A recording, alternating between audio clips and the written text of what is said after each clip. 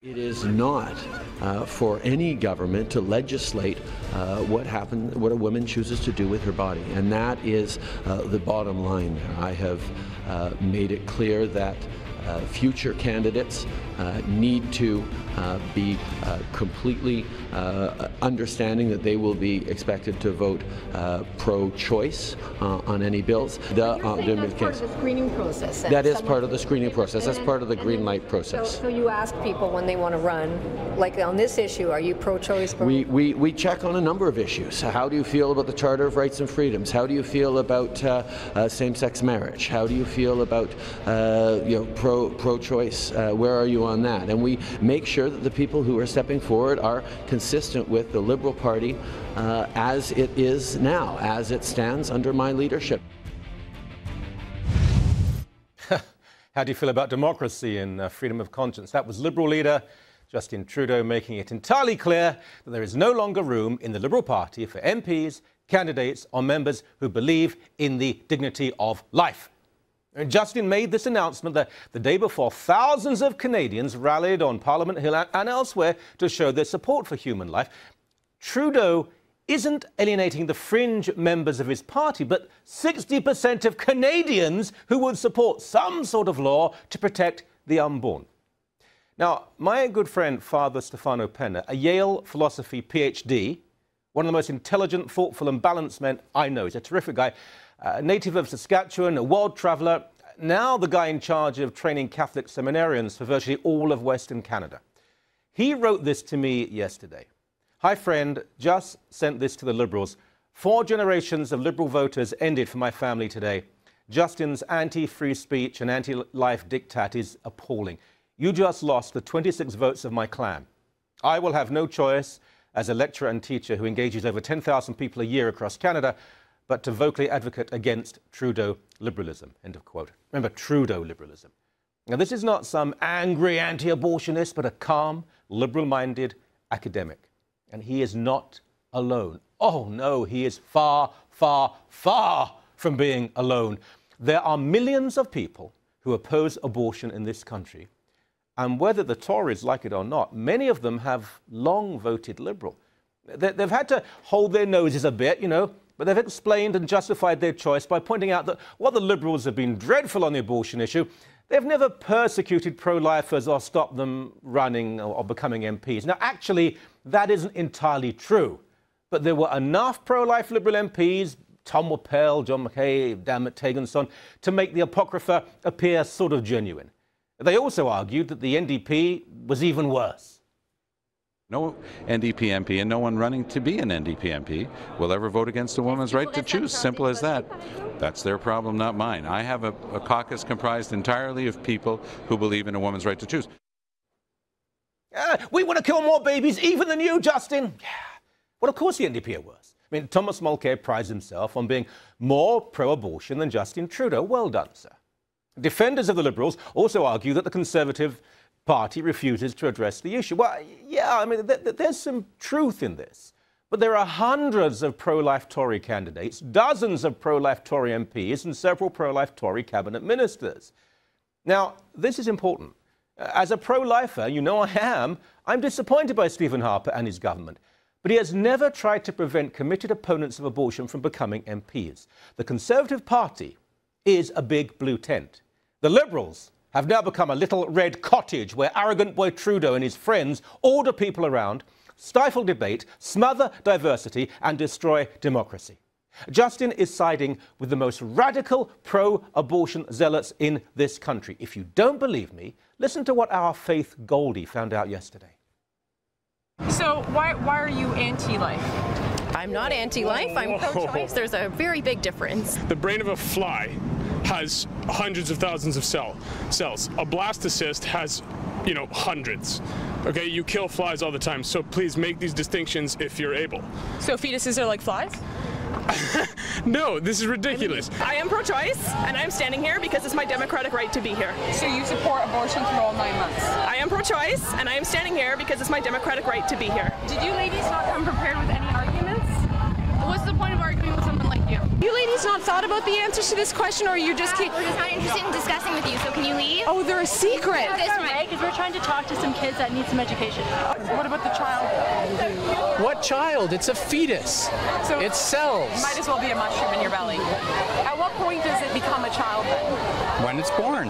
And it's your choice to wear what you're wearing today, but no one's stopping you from doing that. I'm not killing anyone. So, if a woman as a human being wants to make a choice, and she wants to make a choice to kill the child that is inside of her, that is her choice to make. Did you hear that, Justin Trudeau? Did you hear that? Now, this is not the place for a long discourse about abortion. I've made the case in the past, I'll make it again. But I will say that the scientific and moral arguments for life beginning at conception and the political and economic arguments for not funding elective surgery while cutting back on essential procedures are at least compelling, if not overwhelming.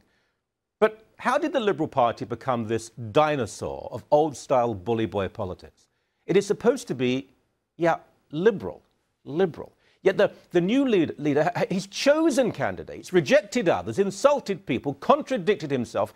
He praises murderous regimes and vile theocracies. Eh, look, good Lord, man, you say you believe in choice, but you've just told about half the country that they can't run as Liberal candidates, and that Liberals who have any reservations at all about unbridled and fully funded abortion, they have no choice.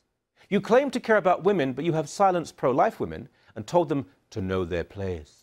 You boast that you believe in a woman's right to control her body, an absurd misnomer, but you revere China, where women are ordered not to have more than one child, and if they do become pregnant, they're forced to abort, especially if that child is female. Yes, Justin, killing babies simply and only because they are little girls.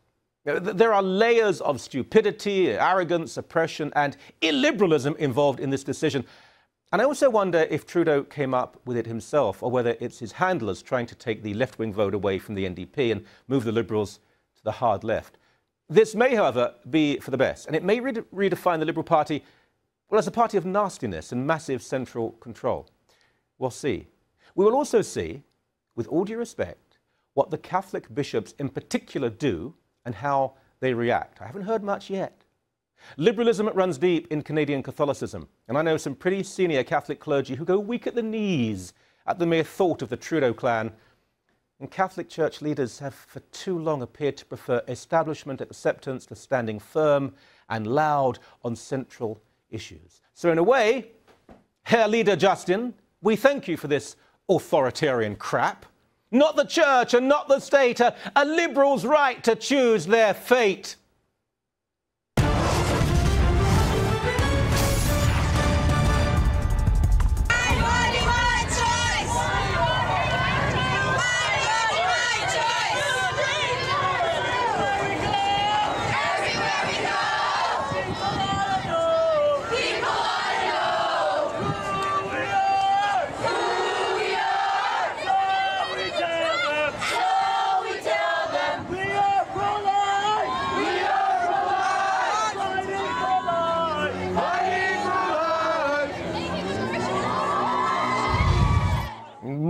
Blah.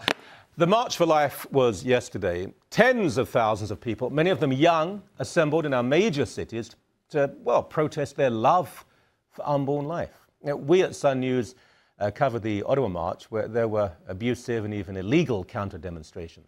So, now, Campaign Life's uh, Matthew Wojciechowski, he's been on the show before. I always have to check his name, though, silly me. He was there to cover the, uh, the issue and uncover it in many ways as well. Matt, you've got a sunburn from it, but also I think you were slightly taken aback because there is a photograph, we'll show it uh, shortly, of you being uh, confronted by various women who, for some bloody reason, always seem to decide to take their tops off when they feel angry. Yeah, that's. Uh, I think that's the picture of me with my mouth open there. but let's not go into details. Your, your, your parents might be I, watching. I but believe. I believe, Michael, that's the, that, they capture the moment of me actually screaming at the police officers to do something about this because they were not doing anything. And yet I, I said there are children in, in, in the audience. Uh, there was a very powerful picture of, I believe, MP Watson's family and his children on the hill. And he's covering his children's eyes, and the children are kind of, uh, you know, turned away. And that's a very powerful image, I think. Okay, And, uh, I didn't realize. I mean, you, you, you, you do, your mouth is open, and I thought it was maybe shock, but you were trying to tell the police to act. That's but there right. wasn't arrest. Now, what happened was, and I I wish more people could, could, could see this, because we're not speaking of ordinary Canadians who believe in, in a woman's right to abort her baby. I mean, I disagree with them, but of course they have a perfect right to express their point of view. We're speaking of, of ugly, violent protests. We've got a couple of clips that we're, we're going to have a look at, and, and I mean, some of it actually has to be blurred out and obscure because it's so. Anyway, let's see the first one, please. As they give witness to the God given dignity, beauty, and value of human life. He prays that this event foster greater respect, greater respect for the inviolable right to life of each person. Your morals! Your morals! Greater respect for the inviolable right to life of each person. That, that was the, the primate, the Catholic primate of Canada, and he, and he refused to be interrupted. But instead of disagreeing, and, and good Lord, uh, pro abortion people have enormous amounts of time and room to, to give their point of view. These women take their tops off and just keep screaming, F you, F your morals, F you, F your morals. Now, the police did intervene there, did they not? Eventually, they did, yes. Um, once uh, we were yelling at them to, to help us out to do something, they did intervene and they did remove those women from the hill. Mm. Now, there weren't many of them, and that has to be said. There were a handful of these women who wanted to take their tops off. And I, I, I don't want to appear rude, but of all the women who should take their tops off, these were not probably the, the right women to do so. Uh, but why do you think they can't simply make their case intellectually or even emotionally? Why do they have to act like, well, animals? I believe uh, they are very, very angry, and they use violence to express that anger. And you know what? They have, you know, they, they're obviously they disagree with our position. Uh, they uh, they hate uh, any type of morality. They hate religion. They hate God. That is their number one message. Uh, that is why they tend to attack clergy members uh, in most cases, and they express themselves in such an angry way that I mean. Kudos to Cardinal Lacroix. He did not even budge. I mean, he just kept going, completely ignored them, and I think that's the best way. That's the best response we could do. Well, I think it probably is, but uh, we've, we've got some more clips and reactions from people. And I mean, there's so much that we can uh, show, and I, I do recommend people go to the internet and to our Facebook site. Let's see another clip, please. This dude, it's none of your male business. It's not your place. I don't tell you what to do with your dick. If you don't want to get someone pregnant, don't. But you can't tell us we have to have babies. It's none of your business. Maybe if you shriek it at a higher frequency. My titties? Why are you filming Hey, this woman, this, Why are you filming this woman is, is, is, har- is like shaking her boobs in my face. I, I don't know your if camera. You wanted attention. You want to show? You want to film something? no, I feel I feel sexually harassed now. Then keep walking. You're the one talking about my sexual Well, organs. you're- you're putting on a All display. of your signs are about my sexual organs. No, Every single one of these signs is about my sexual I care reproduction. about your heart. What a cutie. Um, is there any possibility, to be serious, that there's mental illness here? I mean, she seemed, she was hysterical, uh, this, this wanting to show her cleavage. And, and then there's the, the fellow standing with her, a sort of obese fellow, who seems to be eating, is it ice cream or poutine, constantly throughout the interview. But th- these are not normal people. They may be Justin's friends, but they're not normal people. No, they're not. And I, I, I actually, the level of anger that you see in them, I mean, you know, their, their way of arguing is not through normal uh, civil dialogue, it's by shouting over the person they're speaking with. As you can see, uh, she just keeps screaming the same thing over and over again, not making any normal arguments. Uh, it's, it's all about her, about her reproductive rights, her reproductive organs. Uh, that's the last thing we're thinking about when we're on that hill marching for life, where we care about them, we care about the, the babies that are conceived. Uh, and it's, it's a very sad, sad day, but you know, they're going to show up. And if you look at the numbers, we had thousands and they had uh, course, a handful. Of course. But I, I did hear from a mutual friend, Matt, that you, you're actually now, you, you've got a date with that girl. Is that true? Uh, a date over coffee, yes, at a Starbucks to talk about it. Yes, for sure. Hey, uh, put some sun cream on, on that, um, that very white face of yours, uh, and uh, thank you for all the work you do. You take care. Thanks for having me, Michael.